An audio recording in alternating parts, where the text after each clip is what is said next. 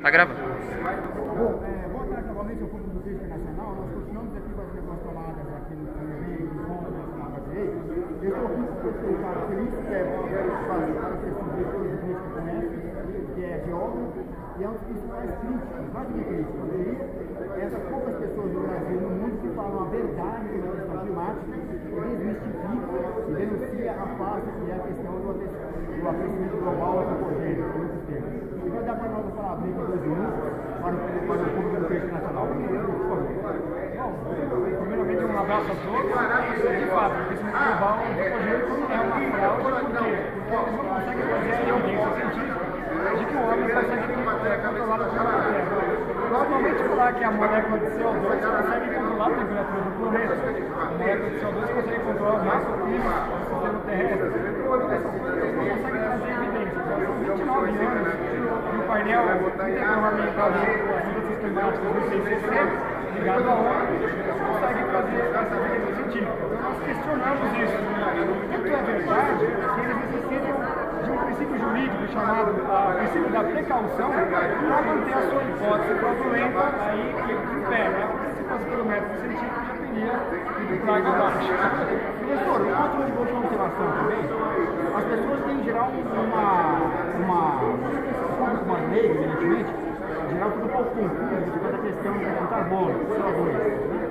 Existem acordos, existem acordos, acordos internacionais para a questão de redução de emissão de CO2, porque existe uma ideia errada que o CO2 é poluidor, que faz mal ao ambiente, assim por diante. Assim é que eu dissesse para o nosso público o quanto que é falaciosa, toda essa questão são falaciosa todas essas questões, porque pelo contrário, como diz muito bem um outro cientista da área, o CO2 é o gás da vida. Sem ele, a vida não existiria na Terra.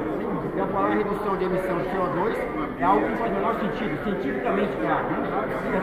Porque como a molécula já não faz nada no clima do planeta Terra. Tanto é que você tem CO2 em Marte, você tem CO2 em Vênus, e ambos os planetas têm é, climatologias completamente diferentes, ligado à pressão atmosférica, a quantidade é, de gases que você também tem. Mas então, ó, tem que o CO2 é realmente o gás da vida. Sem ele, não existe vida na Terra. Então, combater o CO2 na atmosfera é contraproducente, é antinatural. Tá? Inclusive, nós estamos com uma das taxas mais baixas de carbono da história do planeta. Seria muito melhor que nós tivéssemos mais carbono, porque a gente teria a fertilização das plantas. Portanto, mais abundância de verde, mais comida na sua mesa. Tá bom. Professor, muito obrigado. É, ao professor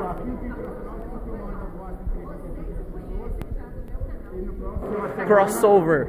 Crossover. Muito obrigado.